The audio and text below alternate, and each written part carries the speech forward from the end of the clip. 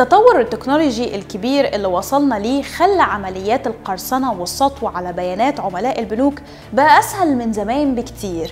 وعلشان كده البنك المركزي بيشدد جدا على البنوك في ملف الأمن السيبراني وحماية بيانات العملاء ومخصص إدارة مختصة لمتابعة الملف ده.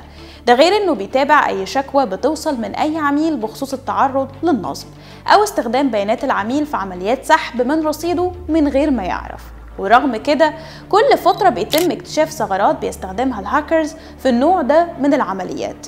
وآخر واقعة بتخص أحد الصحفيين اللي كشف تعرضه لعملية سطو على بياناته وسحب فلوس من الفيزا الخاصة بيه الصادرة عن بنك كريدي أجريكول مصر. وإزاي لما اكتشف الواقعة اشتكى للبنك وأثبت إن مش هو اللي استخدم بطاقته. فيا ترى إيه تفاصيل الواقعة دي وإزاي كريدي أجريكول اتصرف مع العميل وإيه دور البنك المركزي في واقعة زي دي ووقائع تانية مماثلة؟ بانكير نبض البنوك. تحت عنوان خلي بالك من بياناتك في البنك واسمع حكايتي.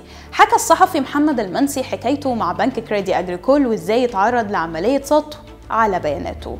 ورد التفاصيل الواقعة وقال لقيت مكالمة من شخص قال لي إنه من بنك كريدي أجريكول وبيكلمني علشان في مشكلة في كارتي اللي هناك وقال رقم الكارت اللي هو كذا كذا وقال لي أرقام الكارت كلها.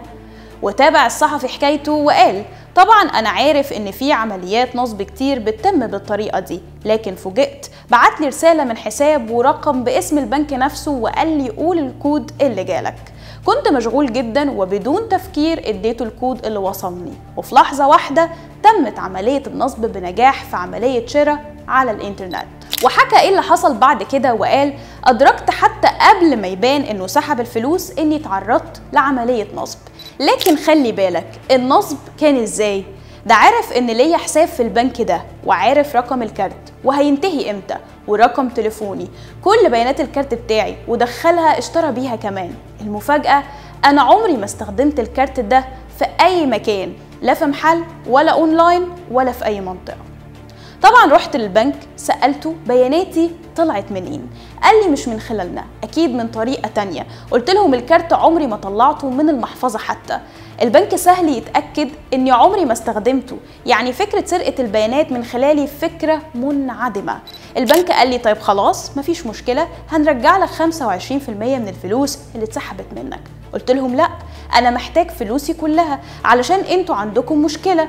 قالوا لي مش هندفع الفلوس كلها. قلت لهم خلاص هشتكي في البنك المركزي. وفعلا رحت عملت شكوى في البنك المركزي ولقيت اتصال من كريدي اجريكول بيقول لي إحنا سحبنا عرض ال 25% وحضرتك هنشوف البنك المركزي هيقول إيه. وختم الصحفي كلامه وقال فكرة المعلومات والبيانات أصبحت أداة أساسية النهارده في أي مهمه تسويق أو نصب واحتيال للأسف. زي أرقام وبيانات الهواتف اللي بيتم بيعها لشركات التسويق دون موافقة أو علم العملاء وبيتم استخدامها للأسف في حالات النصب.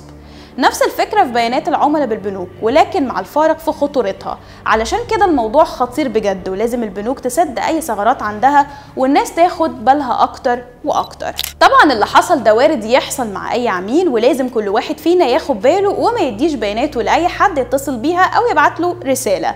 والبنك لازم يحقق في الموضوع ده ويشوف الثغرة فين ويحاول يحلها. أنا أشرقت أشرف وإلى اللقاء.